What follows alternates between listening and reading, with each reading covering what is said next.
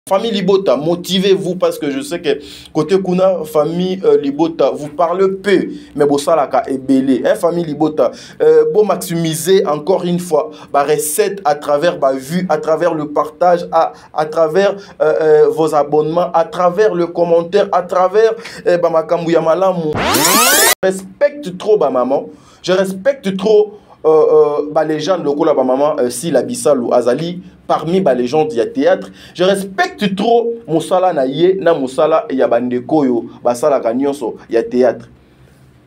gomez atikali komentionne place moko te pour toucher a mama sila bisalu ou bien mpo afinga ye ou bien mpo ayebisa mama sila ke je suis nakomi monene plus ke yo euh, mon âme n'est pas partie en tout cas euh, maman euh, bellevie kondi encore une fois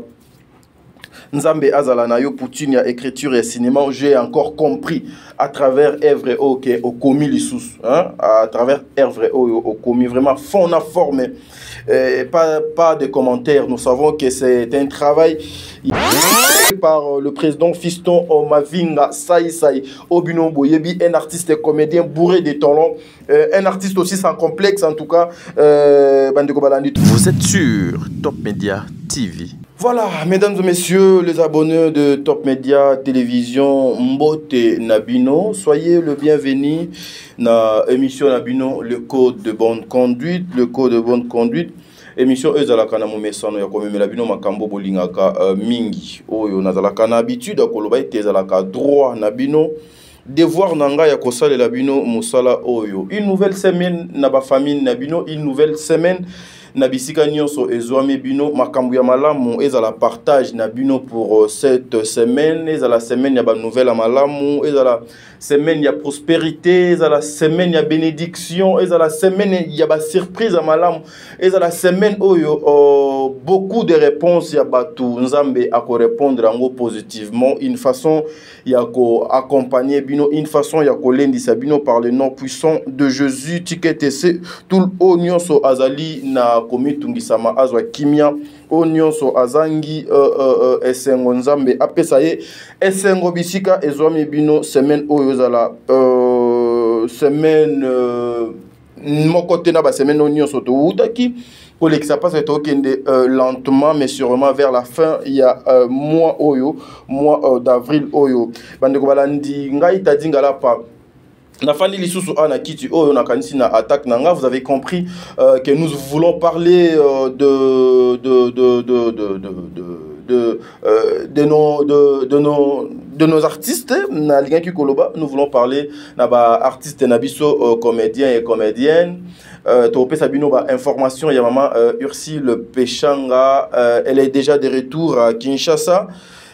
Euh, tokopesa bino mpe makambo oyo etali euh, le président euh, fiston saisai oyo oh, remise et reprise esalemaki bongo na mboka ya londres kuna namoni na foto wana bazotyela nga euh, remise et reprise esalemaki ye na président duce oyo oh, bandeko ba, ba na nga bameta mpinga bazalaki euh, baartiste misusu mpe oyo oh, tobenga bagrand bazalaki wana une façon ya kosala remise et reprise par rapport ya association na bango aimons nous réellement vivant oyo mama ursile peshanga azali parmi bacharge ya communication ya association wana tokoluka moyen topesa bino bainformation oyo esengeli gomez aussi azongi eh, mboka na ye bisika afandaka gomez afanda na nigeria te hein, je signale euh, afandaka libanda ya nigeria elle est rentrée na euh, mboka na ye bisika boni euh, afandaka bisika boni akendaka kosala euh, euh, donc bisika boni asalaka euh, vie na ye bandeko balandi tokopesa bino mpe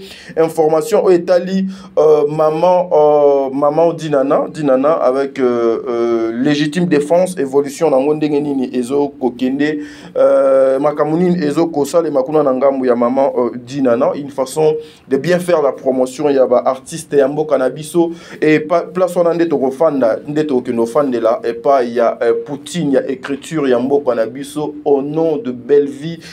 kandi la patrona bisika boni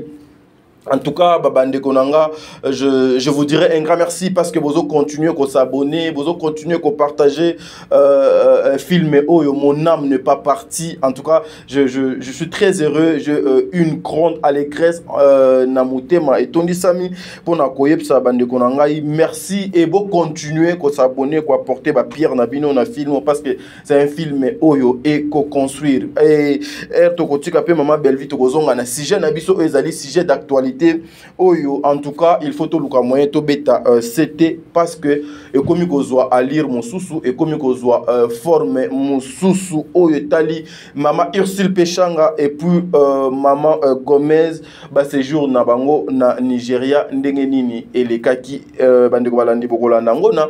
émission oh voilà euh, na kosenga na équipe technique avant tozwa transition oyo oh, ya mon âme n'est pas parti esengo oyo oh, totondisami na yango euh, euh, esengo oyo oh, toza na yango ya komona bamama na biso bazo continuer ya ko evre na mboka na biso euh, na kokanisa baoyo oh, bazalaka nuit et jour avec tadingalapa euh, mama euh, bijou nketani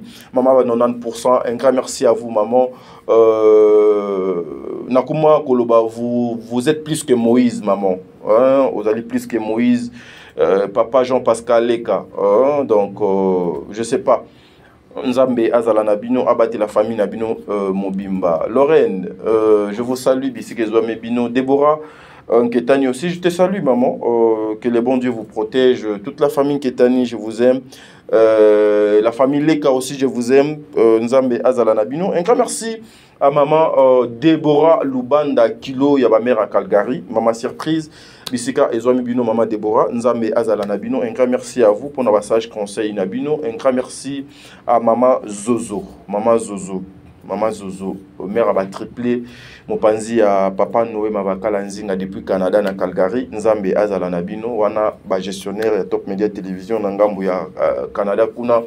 mama ya bajosue bamiracle mama ya, ya, ya, ya la maman de plusieurs donc euh, nzambe azala na bino un grand merci aussi à maman Emily Seti Maïnga mwasi nzambe depuis Montréal na Canada nzambe azala na bino maman un grand merci na bino ba union so bopesaka biso chance hein, ya ko ya ya ya ya ya, ya kolandaka ba émission na biso un grand merci à Bertin Konde l'infirmier clinicien depuis Montréal na Canada wana nzambe azala na bino un grand merci à maman Yvette Mbangu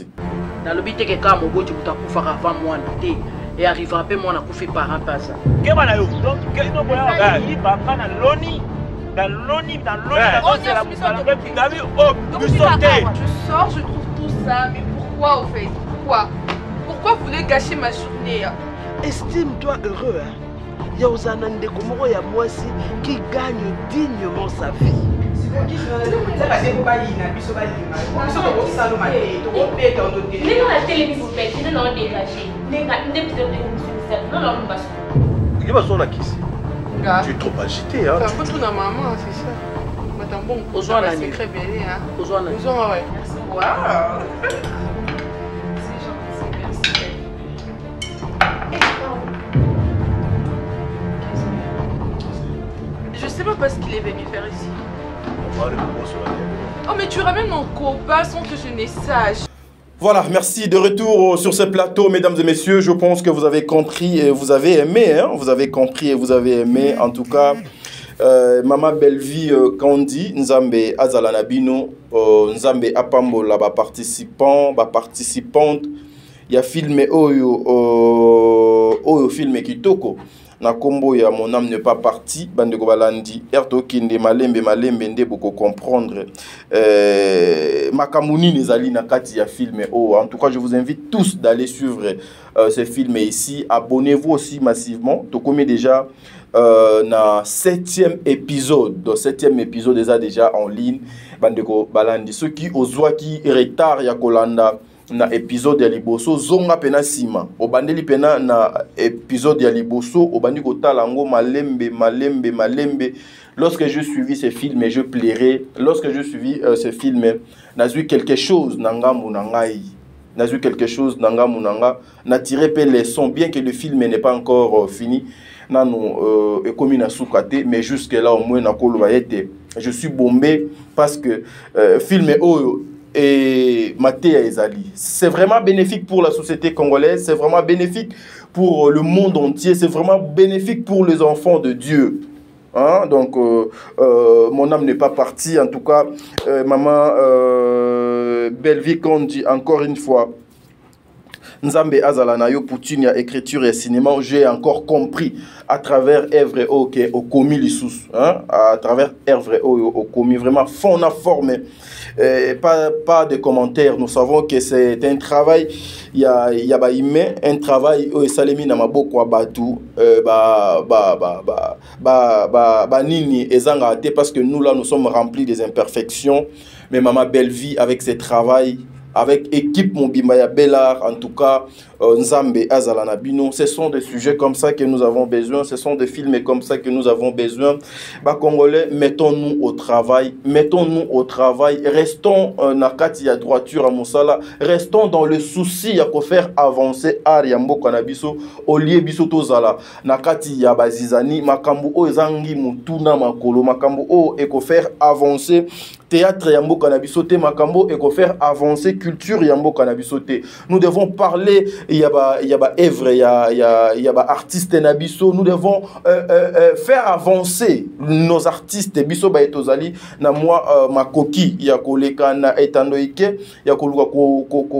kokabola makanisi na bandeko nyonso oyo balandaka biso ata 10 personnes balandi yo mais lorsque tu apportes quelque chose na société congolaise lorsque tu apportes quel, eh, quel, eh, quelque chose na communauté congolaise na diaspora oyo bazali di, dispersé à travers le monde en tout cas ekozala quelque chose de bien c'est une façon aussi ya kovendre image ya euh, mboka na biso mon âme n'est pas partie en tout cas bandeko euh, vous allez vous retrouver na katia film oh, parce que nazo ça me, ça me fait plaisir, hein, ça me fait plaisir depuis épisode de Liboso à film et qui ça fait, euh, c'est moins d'une semaine, moins d'une semaine, mais nous sommes au-delà De 140, des 146 000 vies. Hein, donc nous sommes au-delà des 146 000. Na moins euh, d'une semaine, c'est déjà c'est quelque chose de bien. Et so talipé, na moins évolution, na et so kende. Deuxième épisode, donc deuxième épisode, Bozan n'a plus de 120 000. Troisième épisode, Bozan n'a plus de 111 000. Donc ça veut dire que le gens, Bazo Kota Lango, nous voulons avoir plus que ça. Nous voulons euh, euh, euh, euh plus de vie que ça. Hein, ma, bah, bah, ma, ma, famille Libota, motivez-vous parce que je sais que côté Kuna, famille euh, Libota, vous parlez peu, mais bon, ça, là, c'est belé. Hein, famille Libota, euh, bon, maximiser encore une fois, bah, recette à travers bah, vue, à travers le partage, à, à travers euh, euh, vos abonnements, à travers le commentaire, à travers bah, ma Malamu, par rapport il y a, y, a, y a sujet autres, Kobeta solo il y a mon âme n'est pas partie. Ça sera vraiment quelque chose de bien. C'est une façon de faire avancer aussi mosala ya mama uh, belvi condi tolobaka te ke tolingaka mama uh, belvi condi tolobaka te ke eh, tosepelaka na mosala na ye asalaka pendant ke mosala na ye toparticipaka te tocontribuaka te ya se de, de, de personnes oyo baza wana bazalaka nuit et jour bacontribuaka même ata sur le plan spirituel même ata sur le plan moral même ata sur le plan physique même ata sur le plan euh, matériel bino nyonso bozali motuya c'est comme ça que nous voulons bandeko na biso ya bacomédien bandeko na biso ya théâtre bazwa part na bango babénéficie na yango epuis mosala wana eke liboso une façon ya kokomisa lisusu secteur wana noble et grand donc euh, euh, tozali déjà na 7e épisode ya mon âme n'est pas parti bandeko balandi bozwa temps ya kolanda vraiment euh, euh, filme oyo ya encore des surprises ou il y a encore des surprises hey, eh, mama milo ozalaka nde boye mama moseka ozalaka nde boye mama top wato ozalaka nde boye davina je te cherche davina je te cherche ah non pierrot je suis flatté en tout cas président bobo je suis flatté euh, bandeko nyonso boparticipe à dada l'international euh, euh, euh, euh, euh, Euh, mon, frère ici, euh, président Spawn Euh, en tout cas, je suis flatté namoni les acteurs. Les acteurs na filmé. Namoni les acteurs bazopesa le meilleur na bango. Ah non. Ah non, nous avons des acteurs dans notre pays. Hein? Nous avons des acteurs. Nous avons deux acteurs. Il faut tout, Maman, maman Marie-Jeanne Bololé. Euh, Luna aussi. Hmm, ça va. En tout cas, prenons le temps. topesa bango chance topesa bango chance topesa bango chance bandeko balandi et de l'autre côté aussi des mamans euh, euh, euh maman euh, notre maman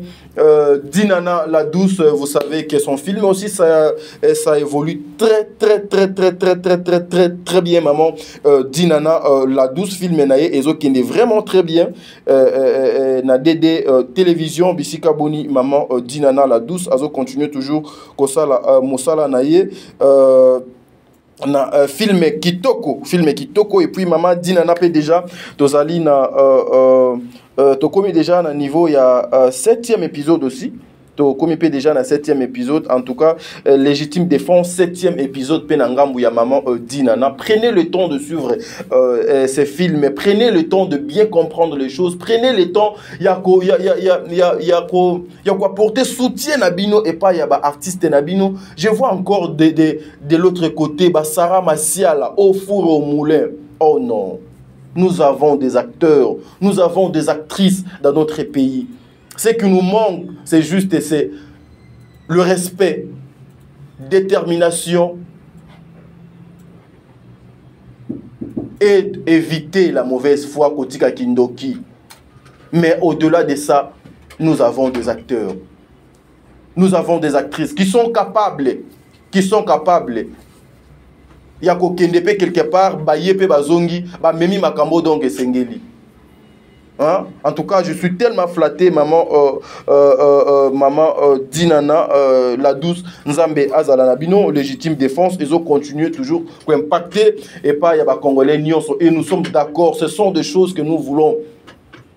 vous parlez mokie bosali ebele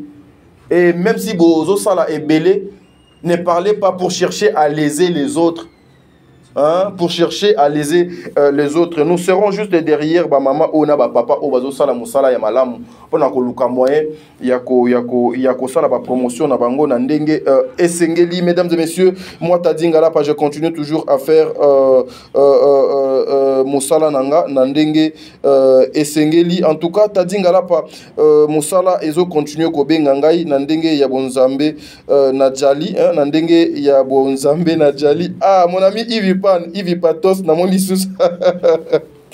ivipas ah ipatos te film te photo oyo fona tiango photo oyo fona tiango noko fona tia photo oyo photo otindeli nga oyo fona tiango ah, na se rappele lisusu Euh, ah, Yves Pan, naotia photo oyo oh, na ndeko na biso déjà donc akoma na France. En tout cas, je te salue mon frère Bisike Zomio, mais je vais mettre cette photo. C'est une photo qui date en tout cas. Euh, ah, Yves Pan, non, ma tata. voilà donc c'est comme ça soki toloba langage moko avec l'équipe technique euh, bomemema biso na ngambo ya euh, machine awa tozwa sikoyo mama euh, ursile peshanga tozo signaler retour ya mama Ursule Peshanga déjà na République démocratique du Congo Mobutu chargé ya communication ya association oyo eh, ebengami na kombo aimons-nous réellement euh, vivants oyo ezali maintenant chapeauté par euh, le président Fiston Mavinga Sai Sai Obino Boyebi un artiste comédien bourré de talent Euh, un artiste aussi sans complexe en tout cas euh, bandeko balandi tozwa nanu euh, transition oyo ya maman euh, ursile peshanga et puis on se retrouve tout justement après hein, euh, ingénieur je suis soki toloba langage moko na yo tozwa nanu transition oyo ekozala quelque chose de bien et puis on se retrouve tout justement après transition oyo mpo tocontinue émission na biso merci beaucoup tika betise quoi je vous demande je vous en supplie d'arrêter les bêtises bana bachaine te bana bagroupe te tozalaka na to na groupe simba to na groupe sinar to na groupe ya papa koba to na groupe oba batanga papa koba mais walter toswana ye walter eh, eh, azo regrette aotranslate bamessage bokokoma na chaîne ya petite bayebaki na bango yo soutien ntango babetika na google bamoni niveau ya kistar na ngai ya congrès bimeli bango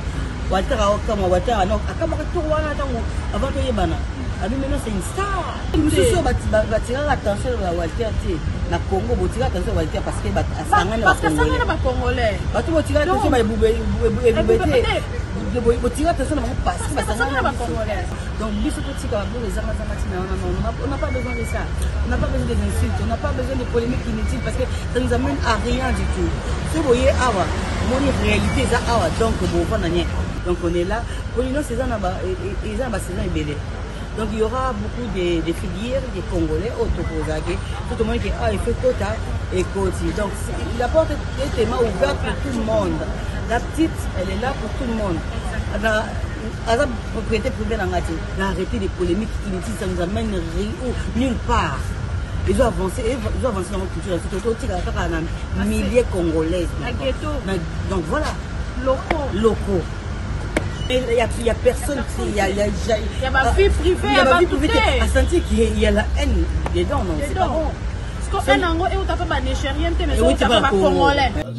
Voilà, merci mesdames et messieurs. Nakanisi, vous avez compris, c'était Maloba ya maman euh, Ursule Pechanga Nakanisi. Malobo déjà ezokoleka na euh, Top Media Télévision depuis un certain moment.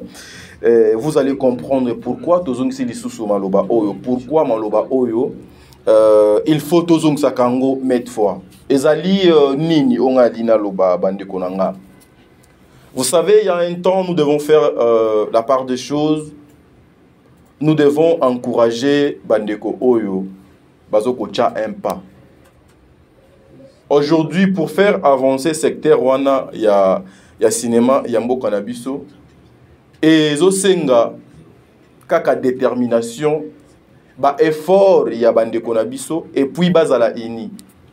Et je vais signaler quelque chose ici. Lorsque moi je dis que j'aime Maman Bellevue,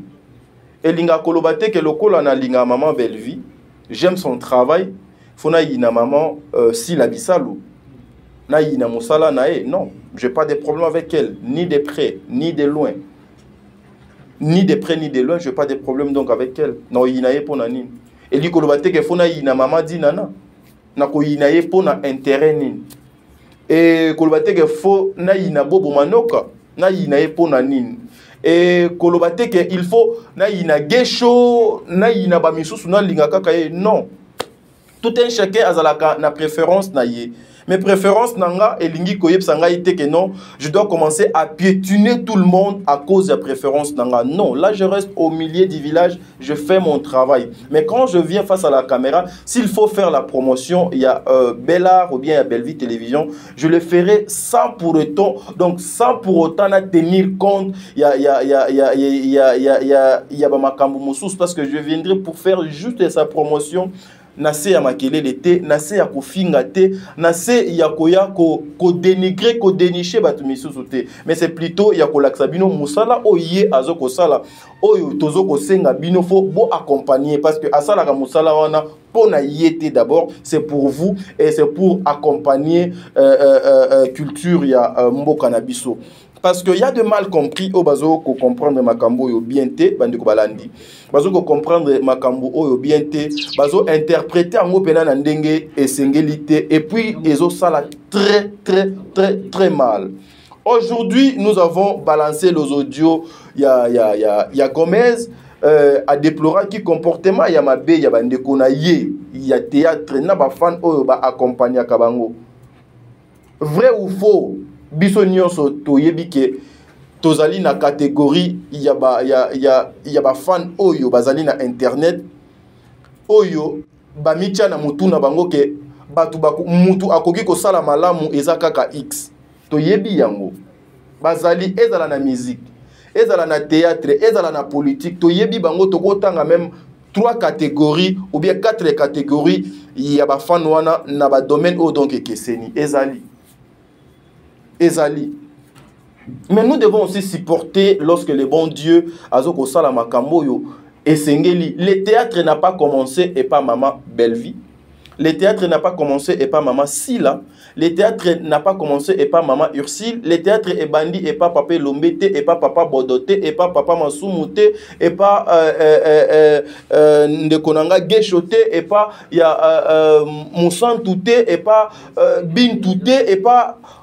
bandeko wana te le théâtre a un père fondateur si aujourd'hui nous devons kozonga nsima il, il faut tozonga epai ya bapère fondateur ya théâtre tomeka kotala basalaki nini makanisi na bango ezalaki nini mpo na théâtre eloko nini balukaki kopropose pour faire avancer le cinéma congolais oyo nyonso bapapa na biso na bamama na biso bazosala ezali kaka banzela oyo bapapa wana basalaki bango bazoleka kaka na banzela wana bango bazoleka kaka na banzela wana bazolandaka balini wana bien que ya la technologie qui est aujourd'hui évolue avance euh, bien que aujourd'hui baavantage oyo donc ezalaki lobi lelo do eza lisusu te mais bazo kosala kaka mosala wana bapapa wana batikaki oyo bazo kolanda kaka nzela wana mais na nzela wana ya théâtre oyo bango bazo kosala biso tozolinga ba innovation biso tozolinga ba innovation biso tozolinga ba échange culturel wana nous voulons à ce que le cinéma congolais aujourd'hui ezwa place nango na mitu ya monde entier le cinéma congolais aujourd'hui le théâtre ou bien ba gag ya mboka na biso ezwa place oyo eza que non lorsque les gens regardent ça les gens sont fiers de nous les gens sont fiers de nous nous devons kotika oyo oyo e, e, oyo etali euh, euh, basystème oyo bandeko na biso baza na yango ya kozala trop immature parce que ce n'est pas bien le travail ke mutu azo kosala le travail ya mutu ya mayele vous ne pouvez pas saboter ça vous ne pouvez pas négliger ça vous ne pouvez pas piétiner ça aujourd'hui gomez akomi instrument ya insulte aujourd'hui gomez azokofutama na, na monnaie de singe oyo azali ndeko na biso oyo azali sere na biso oyo azali mwana mboka oyo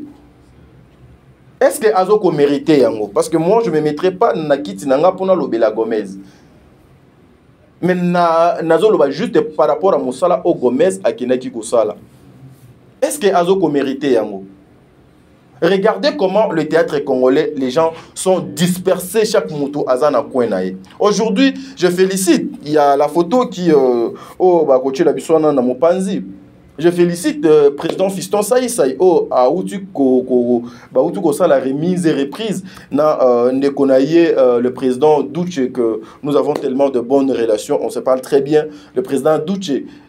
oyo basali remise et reprise na association na bango ya monene oyo ezali na kombo aimons nous réellement vivant aimons mon eh, disons comprenez hein, c'est, c'est, eh, j'avais la volubilité ben, c'est la bouche voilà eh, eh, aimons nous réellement vivant oyo c'est une association les associations aussi élèvent le nation baassociation etombolaka mpe nkita ya ekolo ezali na bamboka ebele oyo nakoki kobanda otangela bino mpe ke grâce ya, associ... ya, ya baassociation ya mboka wana makambo ebele mpe ekota na kati ya mboka wana je sais que euh, président fiston saisai c'est un, euh, c'est, c'est, c'est un monsieur oyo azalaka euh, déterminé c'est un monsieur oyo alingaka toujours kosala mieux c'est un monsieur oyo euh, alingaka euh, euh, en tout cas excellence tout autour na ye mais président fiston saisa s'il vous plaît s'il vous plaît au lieu demain ou après demain de venir commencer ya ko ya ko se comparer ou bien il y a, il y a, il y a ko faire face avec le président Massoumou Ouazala na ANTPC bino bozali na aimons nous réellement vivant poser des pierres oyo ekosala ete même si saisa il ne plus président ya association wana que le cinéma congolais ba se rappeler na yo fiston saisai que les comédiens congolais ba retenir eloko moko que non le fiston saisa était na tête ya association oyo tala place amemi cinéma ya mboka na biso tala place amemi bandeko na ye mais ezala te ke c'est une association oyo tobanda okutana lorsque moko na biso azwi problème ezala te que c'est une association oyo tobanda okutana so moko na biso donc aza na fete ou ezalaka euh, lie ya barencontre te justement parce que il faut tokutanaka bamonaka tolati uniforme moi je vois de personnes na mayele lokola bameta mpinga que je salue ba personne ya mayele lokola ba président Douche ba, ba, ba ba personne avec des potentiels élevés lokola ba Ursule Peshanga na kati ya association wana un monde nous réellement vivons vous pouvez aussi apporter quelque chose il, il faut boluka moyen bo relever ba défi oyo ezali na kati ya théâtre bokoki mpe kozwa théâtre ya mboka na biso kobimisa yango mpe libanda Parce que maman Ursule a dit ça na vidéo Bouti Kolanda. Le théâtre congolais, tozali trop local. Ba film na biso trop local. Oui, il y a un ou deux congolais oyo na mokili peut-être euh, bakoka ki kokende kosala. Mais batikala kozala na identité wana te que non c'est un congolais yeyo azo kosala la mosala ya théâtre. Il se cache toujours. Docteur Patrick, je vous salue. Merci beaucoup. Il se cache toujours derrière ma figure Mokoboe, Batou Mokoboe. Et ils sont classés toujours à la dernière position. Pourquoi Parce que nous, là, biso moko nanto, respectaka bango te, et bango moko pe ba se respectaka te, ils sont dans de futilités au lieu ba se lancer na musala na bango. Ici, on ne vous impose pas de vous aimer parce que Boza a droit ya kolingana te. Vous êtes des collègues, Boza ba famille te, Boza ba ninga te. Il faut bo, bo lingana ka na musala na bino un point barre. Nous attendons beaucoup de choses donc de Panabino. Parce qu'aujourd'hui, il faut qu'on se le dise. Gomez est insulté mwana mwa mokie ayebi théâtre te auta wapi toyebi ye te oui mais en tout cas dans un pays sérieux epai ya bandeko oyo balingaka mosala na bango bazali bato fo bakumisa ndeko ya mwasi oyo gomez à part gomez quel est l'artiste congolais oyo apporta culture ya mboka na ye les artistes comédiens je cite apporta mboka na ye odo ti au-delà ya bafrontière na biso pour aller chercher une carte azala certifie na industrie ya cinéma ya moko ya baindustrie oyo nyonso meme ata parmi les 10 premi euh, le, le, le, le, na, na, na, na top 10 ya baindustrie ya cinéma aza te aza te ce sont des actions comme ça ce sont des actes comme ça que il faut que les gens puissent applaudir baaccompagner yango ekende liboso mais aujourd'hui chose grave vous allez voir quelqu'un na coin moko boye azo kosabote yango non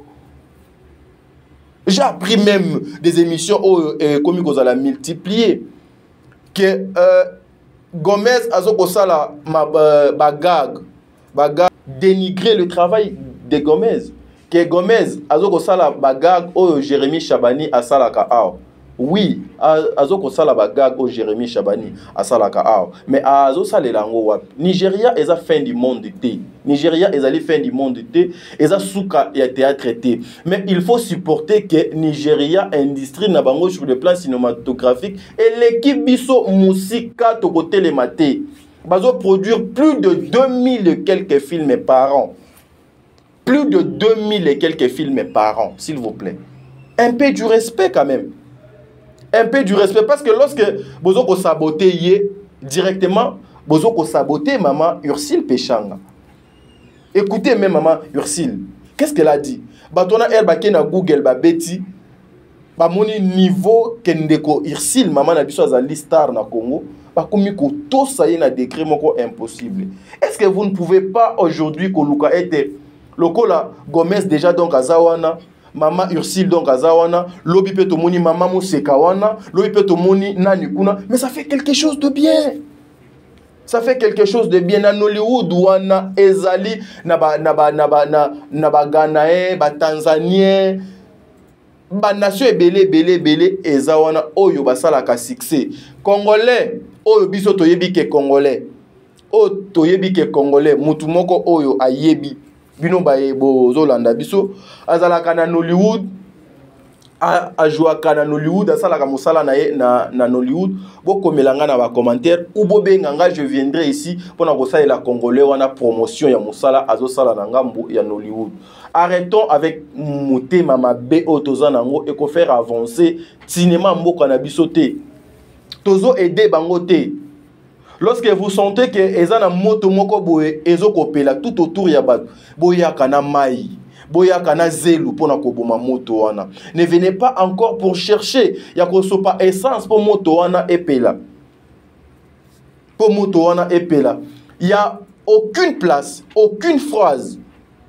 Ça, je répète, aucune phrase. Je respecte trop ma maman. Je respecte trop euh, euh, ba légende lokola ba maman euh, si la bisalu azali parmi ba légende ya théâtre je respecte trop musala na ye na musala ya bandeko oyo basalaka nyonso ya théâtre gomez atikali komentionne place moko te pour toucher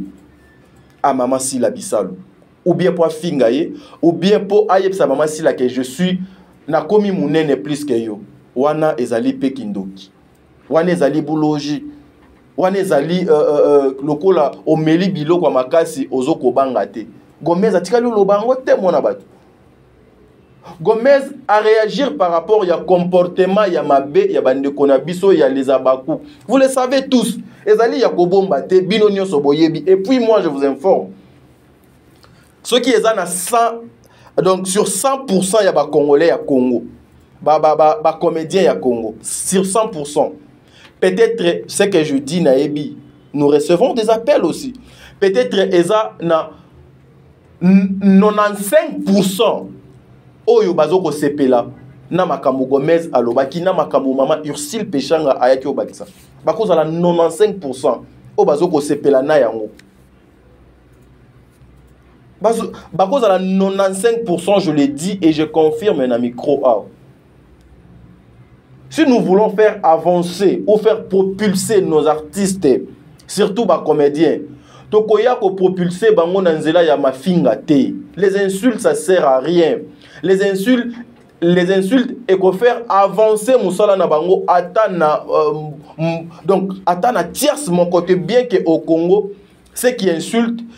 euh, euh, ceux qui sont dans le bêtise ceux qui sont dans de n'importe quoi bango nde bato baconsideraka parce que toyebi bango baza ebele meme pembeni ya bapoliticien meme pembeni ya bamusicien fo obanda kofinga nano makasi ofingi na mama ya bato na bapapa ya bato na bayaya ya bato e à la fin batie yo ka or ezali el, el, eloko ya mabe nous nous sommes de jeunes nous, de, nous, nous, nous, nous sommes des jeunes, nous sommes censés il y a quoi apporter euh, bah, bah, changement, bah, modification, toi améliorer qualité, il y a moussala, qualité, il y a makam, obiso, tozo ko présenter, bateau. si hier il y avait x azwaki na nzela ya mafinga bino baye bodefandaka bacomédien boyaka mpe kaka na mafinga te pour chercher encore ya kobakisa mafinga ka likolo ya mafinga on peut jamais combattre les antivaleur na kati ya antivaleur hmm? c'est ça mes frères au moins mwana oyo bozo konéglige wana mwana oyo bozo kofinga wana mais aujourd'hui soki bakei kotala na liste na histogramme ya peut-être ya ba ya, ya ba acteur ya Nigeria ba komona pe tozali na ba actrice euh, ya Congo oyo ba certifié lokola ba maman Ursule Peshanga lokola euh, euh, euh ndeko nanga Gomez oyo toyebi officiellement eza kaka bango mibale mais nous devons fustiger ce genre de comportement toyebi bato oyo bazalaka à la base ya bamakambo oyo toyebi bafane oyo bazalaka oyo bazalaka sensible e oyo balingaka kosala makambo oyo ekoki konuire mpe kopesa bandeko misusu mpasi toyebi bango les comédiens baza plus de 95 pourcent oyo baza kosoutenir projet ya ursile peshanga na gomez parce que ezali avantagé ezali avantage mpo na bango ezali avantage mpo na bacongolais nyonso ezali avantage mpo na secteur wana mobimba euh, donc aujourd'hui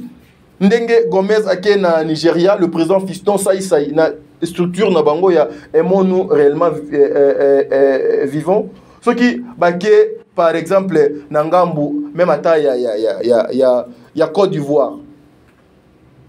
moko na biso akoti kuna akomi eh, certifié bakomi kokonte parmi les acteurs euh, euh, euh, euh, eh, ya, ya, ya, ya mboka wana baoyo mpe bakoki kobanda koya kotourne si ya des projets bomoni mpe teke eza to quelque chose de bien moko na so ake abendi mosusu mosusu wana abendi mosusu malembe malembe malembe malembe puis tokoluka moye mosala yango e avance c'est comme ça que nous voulons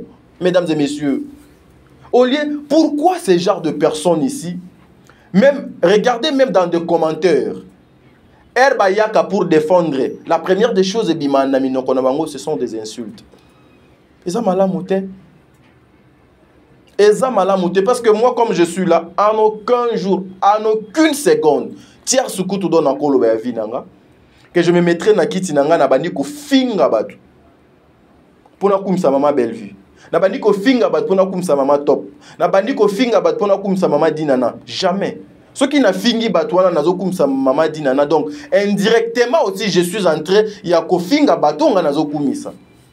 mais je, je peux venir kopesa avis na nga contraire na mosala ya mama sila na mosala mama bellevie na mosala ya mama ursile na mosala ya mama x parce que ezali infraction te nakoki mpe koya kosala analyse par rapport ya mosala na bango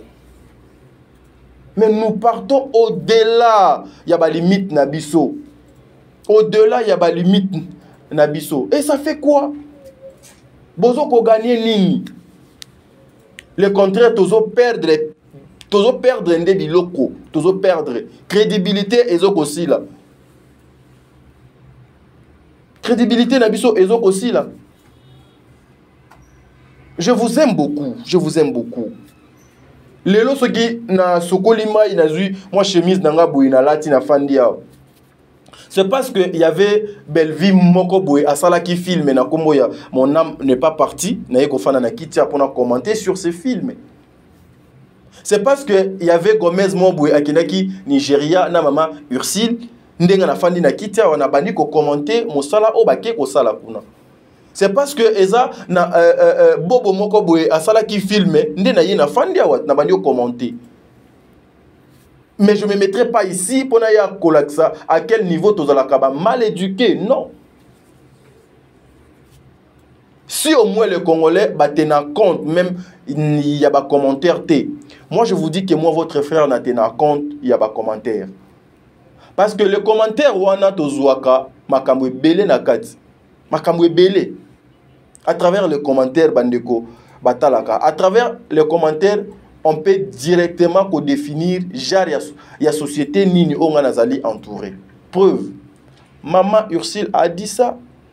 Mama Gomez a dit ça ah, par rapport à réclamation ya manager na bango oyo aza na Nigeria et puis avant wana nga, nga na bandaki koloba yango na banda koloba makambo ya bafan oyo depuis kala ya de, e, ezali na bafan oyo bazali non instruit soki toke na, na, na, na les abakouk na kati ya les abakouk ya de maman responsable de maman responsable ya de papa responsable na kati il y a des jeunes filles aussi qui ont de bonnes têtes oyo bazali na ba réflexion bien des têtes bien faites mais banani bato bazofingisa bango ce sont de, de, de, de, de, de baye balembi da mokili baye ba, ba, vie na bango ezali bétise na bétise vie na bango ezali ba n'importe quoi bazokozwa ba n'importe quoi na bazokopakola yango accepter à ce que les gens aussi bakomaka na niveau ke balobi ke ah mama sila asali mabe mama bellevie asali mabe mama dinana osali mabe acceptez ça acceptez ça moi je soutiens les idées moi je soutiens les idées même comme donc je suis là si on m'appelle maintenant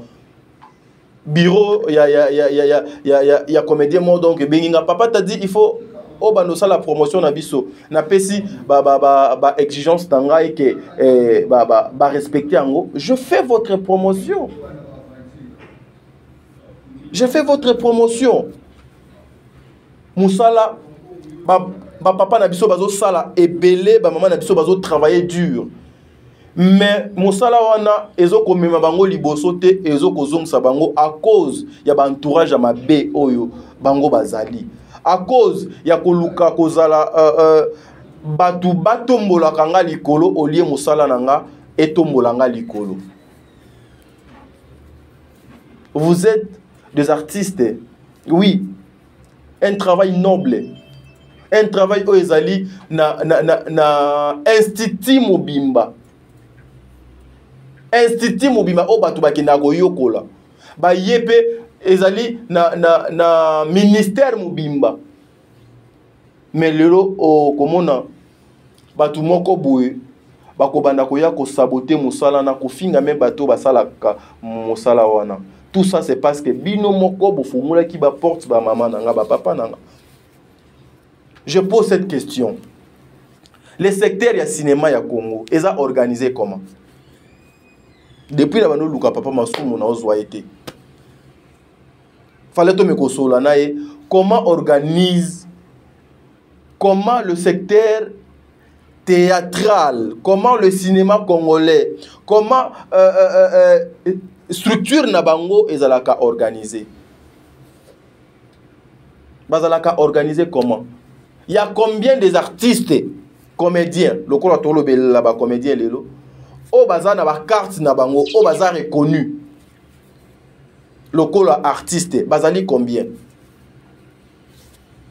les artistes lelo bakoma les artistes parce que asali succès mbala moko nakomi artiste comédien mm. parce que nasali succès okomi artiste comédien lokola mpe toa na mboka ya bulu yeke ale artiste comédien babando ba, tumbolo na mapeka qui a sa carte ba combien je pense pas que bakoleka 50 oyo baza vraiment na bacarte d'artiste boye na maboko mais elingi koloba te ke bango nyonso oyo basalaka théâtre bazali ntina te non mais boyebisa nga bozali ebele mais baoyo bazali euh, euh, légal ou bien lego bazali mokie comment voulez-vous à ce que les autorités les gouvernements la politique culturelle ya mboka na biso eya kotya bino maboko pour que secteur wana ekende liboso parce que déjà bazomona na kati na bino bozali bato ya désordre bozokoka kosorganize ko te entre vous nous voulons faire avancer mosala ya bandeko na biso bazosala misala ya bamama na biso bazosala misala bapapa na biso bazosala bazosala misala makasi en tout cas nga congolais nyonso oyo donc apozaka acte moko boye ke namoni etouche nga nazalaka toujours nsima ya congolais wana mpo na kotya ye maboko mpo akei liboso bakende liboso gomez ne vous fatigue pas mama ursile bolemba te famille libota je vous aime beaucoup famille libota je vous aime beaucoup merci beaucoup na bino baye nyonso bozwi libaku ya kolanda émission oyo c'était euh, tati ngalapa na micro ya leco de bonne conduite émission ezalaki réalisée par euh, ndeko josue oyo azalaki nsima ya caméra le pasteur euh, patrick docteur mobikisi azalaki mpe na assistance ya émission oyo bino baye nyonso bolingaka biso le numéro est affiché ce numéro justement c'est pour euh, avoir euh, bareproche na bino moi je réponds à mes appels mes messages même ceux qui insultent na yamba bango na téléphone poliment na répondre bango mpe na téléphone poliment parce que c'est comme ça que je suis élevé et quand je fais mes émissions comme ça ezalaka mpona kodénigrer ko bato misusu te